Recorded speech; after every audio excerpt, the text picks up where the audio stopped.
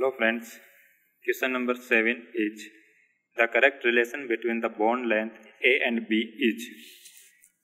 तो यहाँ पे जो हमें स्ट्रक्चर दी हुई है यहाँ पे हम देखेंगे ऑक्सीजन का जो लोन पेयर है वो सी डबल बॉन्ड ओ के साथ रेजोनेंस में है। ठीक है? तो अगर हम इसकी रेजोनेंस हाइब्रिड देखें तो कुछ इस तरह से होगा।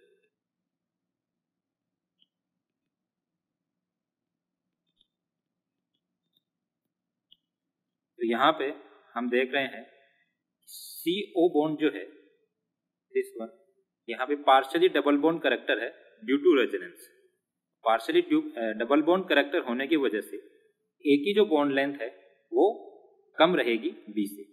Bond length of A is less than हमारा जो करेक्ट आंसर होगा, वो होगा ऑप्शन बी थैंक यू